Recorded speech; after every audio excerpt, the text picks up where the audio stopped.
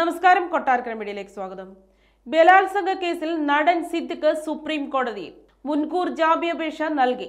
ഹൈക്കോടതി മുൻകൂർ ജാമ്യാപേക്ഷ തള്ളിയതിന് പിന്നാലെയാണ് നീക്കം. അഭിഭാഷക രഞ്ജിത റോത്തകയാണ് സിദ്ദിഖിനായി മുൻകൂർ ജാമ്യാപേക്ഷ ഫയൽ ചെയ്തത്. സുപ്രീം കോടതിയിൽ അപേക്ഷ നൽകുന്നതിന്റെ ഭാഗമായി ഇന്നലെ മുതിർന്ന അഭിഭാഷകരുമായി സിദ്ദിഖുമായി അടുപ്പമുള്ളവർ ചർച്ച നടത്തിയിരുന്നു. അതിനിടെ സിദ്ദിഖ് മുൻകൂർ ജാമ്യാപേക്ഷ നൽകിയാൽ തന്റെ ഭാഗം കൂടി കേൾക്കണമെന്ന് ആവശ്യപ്പെട്ട് പരാതിക്കാരിയായ നടി സുപ്രീം കോടതിയിൽ തടസ്സ ഹർജി നൽകിയിട്ടുണ്ട്. സിദ്ദിഖിനെതിരെ സർക്കാരും തടസ്സ ഹർജിയുമായി കോടതിയെ സമീപിക്കുമെന്ന് സൂചനയുണ്ട്. ഹൈക്കോടതി മുൻകൂർ ജാമ്യ ഹർജി തള്ളിയതിന് പിന്നാലെ അന്വേഷണം വ്യാപിപ്പിച്ചിട്ടും സിദ്ദിഖ് എവിടെയാണെന്ന വിവരം പോലീസിന് ലഭിച്ചിട്ടില്ല. സിദ്ദിഖിനായി എറണാകുളം കേന്ദ്രീകരിച്ച് ബുധനാഴ്ചയും പരിശോധന നടന്നിരുന്നു. എറണാകുളത്തെ സിദ്ദിഖിന്റെ വീടുകളും സുഹൃത്തുക്കളുടെയും ബന്ധുക്കളുടെയും വീടുകളുമെല്ലാം പോലീസ് അന്വേഷിച്ചെങ്കിലും കണ്ടെത്താനായില്ല.